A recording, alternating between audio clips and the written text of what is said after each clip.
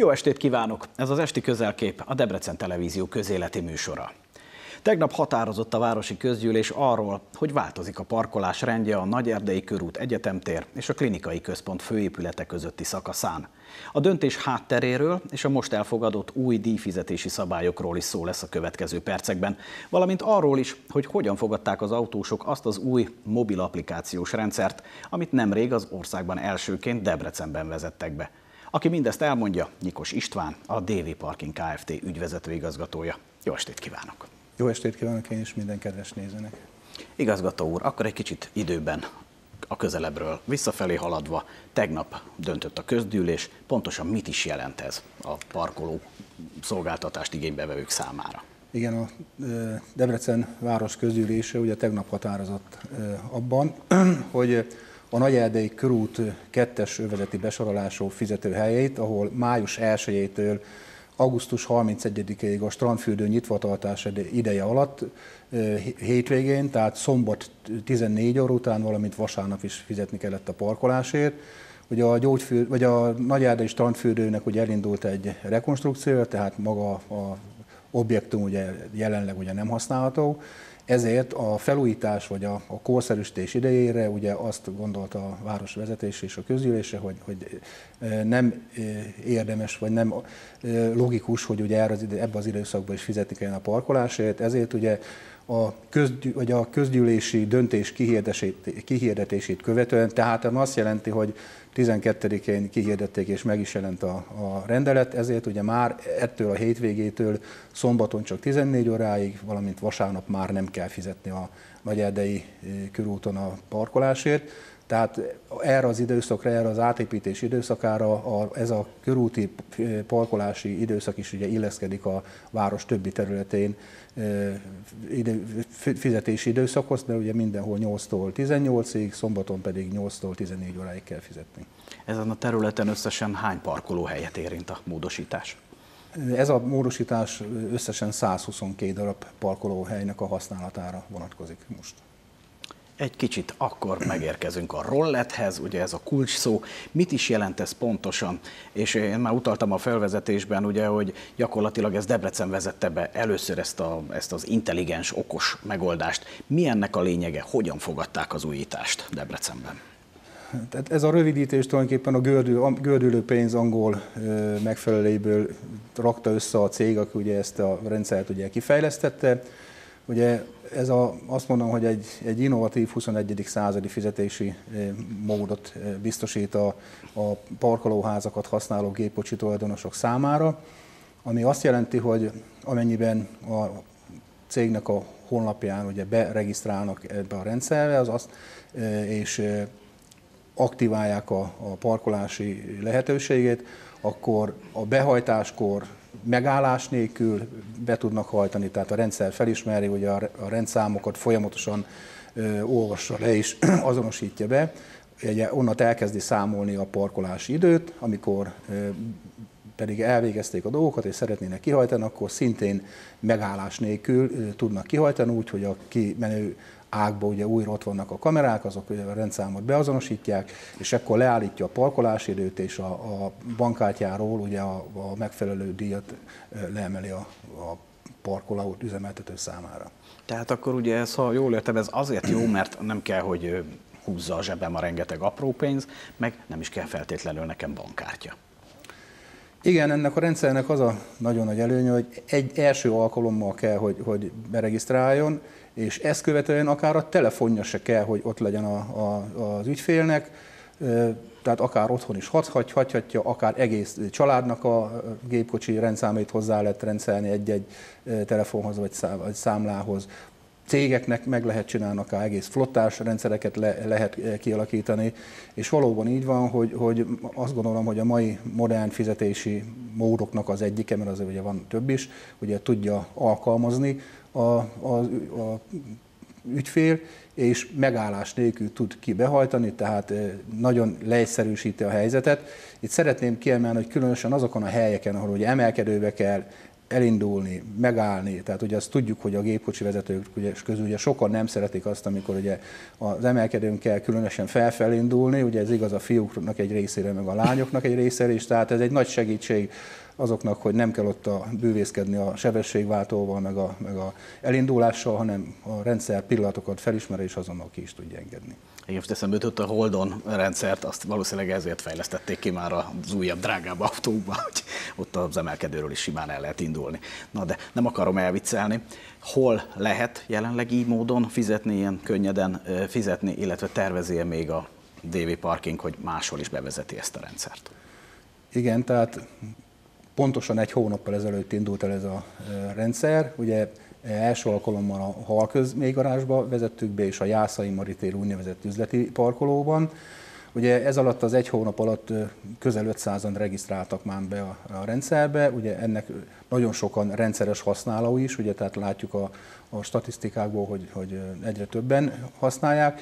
Természetesen, hogy egy viszonylag rövid idő telt még el, de ugye azt látjuk, hogy ez egyre népszerűbb és egyre közkedveltebb az ügyfeleink körébe, pontosan azért, hogy nem kell húzgálni a pénztárcát magunk, amit tulajdonképpen semmit, csak a sluszkulcs meg a gépkocsi legyen nálunk, és ugye ha egyszer megtörtént a regisztráció, már fogja tudni használni és azt tervezzük, és tárgyalásban vagyunk a, a céggel, hogy, hogy a többi még hat helyen tudnánk bevezetni, hogy, hogy ezeken a helyeken is minél hamarabb bevezetésre kerülhessen ez a rendszer.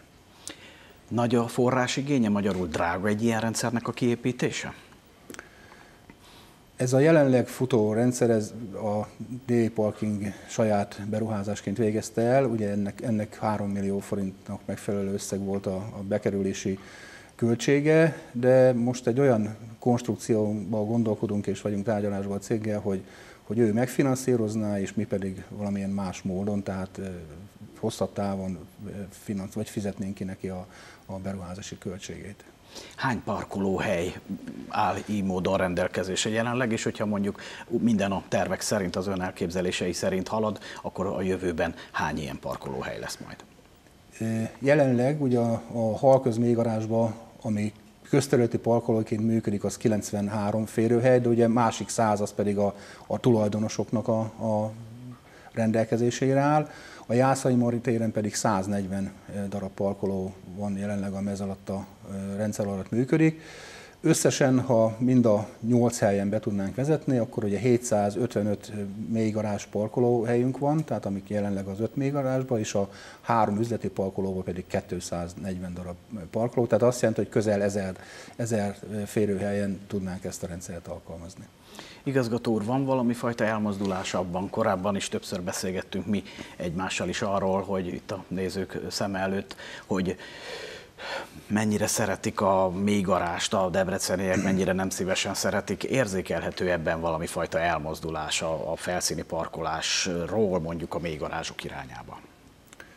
Én azt gondolom, és azt látjuk, hogy igen, tehát hogy ennek több oka van. Tehát egyrészt ugye, hogy a, a Debrecen városban ugye a felszíni fizetővárakozók eh, száma ugye sajnos, hogy az már nem növelhető tovább, mert azt gondolom, itt ha megtetszenek nézni a, a Dózsonától tér, tehát azok a frekventált helyek, azok 8-9-10 óra fel teljesen megtelnek, tehát aki szeretne ott parkolni, azt gondolom, hogy ott elég sokat kell neki mozgolódni ahhoz, hogy találjon szabad parkolóhelyet. Ugye azt is el kell mondani, hogy azért a felszíni fizetővárakozóken az kiemeltő vezetben 480 forint egy óra parkolási díj, és ugye ennek a kettőnek az együttes hatása, tehát hogy nincs a felszínen fizető várakozó hely, viszonylag magasak a tarifák, ezért azt gondolom, hogy egyre, és látjuk is, hogy egyre több gépkocsi tulajdonos áll le. Most nem mondom, hogy kényszerűségből, mert azért ennek ugye vannak egyéb racionális dolga is, de egyre, egyre többen állnak le a mélygarázsokba, ezért előfordul, hogy a frekventált helyen lévő mélygarázsaink, a, a Simonféle halközmélygarázs, az ítélőtábla mellett levő mélygarázs, a Jászari téri üzleti parkoló, ezek rendszeresen teljesen megtelnek, és sajnos most is állítunk addig, hogy nem nagyon lehet parkolóhelyet találni. A nagyerdei mélygarázsunk, ami ugye egy kicsit kijebb esik, az természetesen, hogy ott a nagyerdőn az ugye rendezvényfüggő, tehát amikor egy különböző rendezvények vannak, akkor hogy előszeretettel használják azt is, mert ugye védett helyen van, viszonylag kedvezőek ott is a tarifák, és ugye egy sokkal nagyobb biztonságot nyújt, mint egy felszíni, felszíni parkoló. Tehát eljutunk előbb-utóbb addig, hogy a mély garázsaink is valamennyien meg fognak telni, és a újabbaknak a bevezetésén, beüzemelésén kell, hogy gondolkodjon majd a város. Igazgató úr, köszönöm szépen, hogy mindezt elmondta. Én is köszönöm szépen, hogy itt lettem.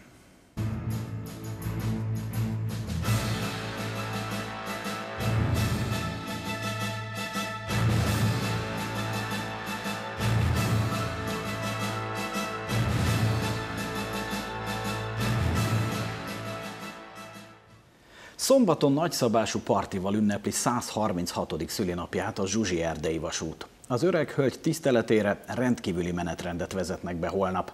Hármas alján ugyanis egész nap színes családi programokkal várják a Zsuzsi vonat barátait. Hogy pontosan mi minden lesz, erről beszélgetünk Kerek Laura marketing előadóval és Gacsái Istvánnal, a Zsuzsi Erdei Vasút Nonprofit Kft. ügyvezetőjével. Kezi csukkolom, jó estét kívánok!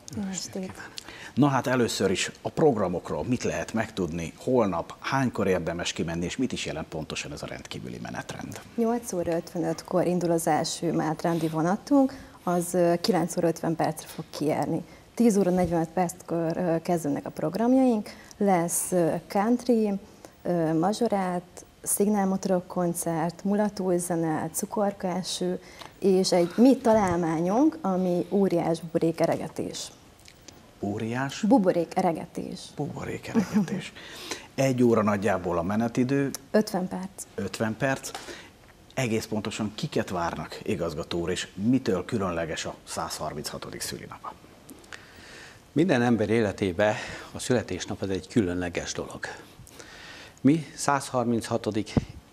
évünket ünnepeljük, megelőztük a Párizsi Eiffel öreg hölgyet, mert hogy nekünk is van egy öreg hölgyünk, a Zsuzsi, és ez a Zsuzsi szeretnénk sokáig életben tartani, és emiatt aztán minden évben egy nagyszabású rendezvényt csinálunk. Ez a nagyszabású rendezvény, ez azt jelenti, hogy minden korosztályt várunk. Gyerekektől, középkorúakon keresztül, a fiatalokig. Tehát nagymama is, nagyapa is rendkívül mértékben szokta élvezni ezeket a születésnapokat, és nagyon jól érzik magukat. Olyan rendezvényeket csinálunk a marketing csoportunkkal együtt, amely minden korosztálynak jó és élvezetes. És ez a célunk. A rendkívüli menetrendet az előbb elfelejtettem, tehát egy átlagos napon hány vonatpár jár, most hogyan készülnek? Három a... vonatpár jár, most lesz egy 10 órás mentesítő vonatunk, 10 órakor megy, az a plusz vonat. Ha kint vagyunk már, akkor most ugye elég komoly fejlesztések zajlottak az elmúlt években a pálya Igen. vonalán. Mire lehet kint számítani? Egyáltalán mekkora a befogadó képessége, milyen infrastruktúrális körülmények várják majd az oda látogatókat? A Nyíredő ZRT felújította a játszóteret, nagyon szuper körhinták vannak, libikók, a, ö, színpadot is újítják. Padokat elhelyeztek, új padokat elhelyeztek kint a játszótér környékén, a büfé környékén, és 1500 ember úgy tud szórakozni, hogy szinte a nagy téren észre se vesszük. Mit lehet mondani, igazgató úr, az elmúlt évek tapasztalatai alapján? A Zsuzsit mennyire fedezték föl a debreceniek, az ország más tájáról ide látogatók? Azért ilyen kisvonat, egy-két ugye hegyi erdőgazdaságot eltekintve nem nagyon jár máshol. Hát ilyen hosszú ideje, meg azt hiszem, hogy talán egyetlen egy sem. Így van. A mi e, célunk az, hogy ez sokáig járjon, emiatt aztán az elmúlt tíz évben e, ráncfelvarrás történt a Zsuzsinál, 2013-ban két új kocsit átadtunk, a természetházát felépítettük, és a 17 kilométeres pályaszakaszból 10 kilométert felújítottunk. Most következik a második, amikor a 7 kilométert felújítjuk, ugye ez homokágyban van, és bizony-bizony a talfák azok előregettek, ki kell cserélni. A három dízelmozdonyt és a jó hírem az, hogy a gőzmozdonyt is felújítjuk, tehát lesz gőzösünk a jövő évben, tudunk pöfögni még legalább 136 évig. Egy ilyen gőzösnek a felújítása az nagyságrendileg, hát gondolom, hogy az, az rengeteg munkaóra egyrészt, elhivatottság, nem tudom, megvan még az a szaktudás ma, aki egy ilyen gőzöst, vagy akik egy ilyen gőzöst fel tudnak újítani? Igen, és örömünkre éppen Debrecenben is van egy ilyen csapat, aki ezzel foglalkozik. Nyilván ezt, hogy ki fogja majd felújítani, ezt majd eldönti a közbeszerzés törvény, illetve akik pályáznak, milyen összeggel, ez a jövő titka, hogy ki fogja felújítani, de igen, van. És ennek nagyon örülünk, mert bizony-bizony folyamatosan karba kell tartani. Hát 1932 óta azért már eltelt néhány év. Van-e lehetőség mondjuk, akik holnap kimennek baráti társaságok főzésre, egyéb programokra, nem tudom, sportolni, Van. nem tudom, milyen időt tetszettek rendelni holnapra? 30 fok, napsütés. És meg is érkezik. 28 fok, 30 fok, annyi biztos, hogy lesz. Én láttam még a honlapon kiegészítő programokat, olyat, mint lovaglás, szekerezés, de lehet, hogy nem jól mondom. Igen, van lovaskocsisunk, van lovaskocsikázási lehetőség is. Ez körülbelül egy 30 perc lovaskocsikázás. Ott van egy tó, illetve kilátó. A lovaskocsi oda felviszi az érdeklődőket a kilátóhoz, illetve a tóhoz. És a korosztályra visszatérve a családok, mindenféle korosztályt megcéloztunk, például a country táncosaink 20 éves kortól 70 éves korig táncolnak. Van egy hölgy, aki 72 vagy 73 éves. Mikor, táncol. mikor jön az utolsó vonatpár? Meddig tart a parti, órakor, meddig tervezik? 5 órakor megy vissza az utolsó vonat. Tehát aki főzni akar, sütni akar, vagy éppen bármi kint olyan tevékenységet akar folytatni, az nyugodtan teheti, 10 órától 17 óráig bátran, és mindenkit meg fogunk várni a vonatindulással, senki nem fog kint maradni. Igazgató úr, előadasszony, köszönöm szépen, hogy itt voltak. Köszönjük. Eddig tartott ma az esti közelkép, köszönöm a figyelmüket, viszontlátásra!